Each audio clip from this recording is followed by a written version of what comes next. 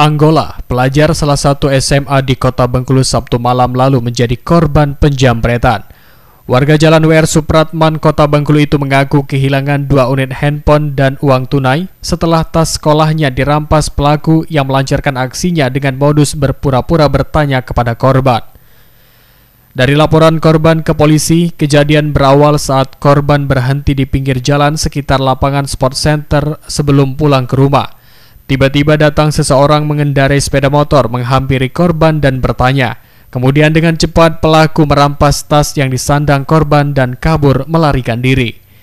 Menyadari itu, korban langsung mengejar pelaku dan berhasil menghentikan pelaku. Namun pelaku melayangkan tinju dan memukul wajah korban hingga korban terjatuh, sehingga pelaku kembali berhasil melarikan diri bersama tas korban, berisikan dua unit handphone dan uang tunai puluhan ribu rupiah.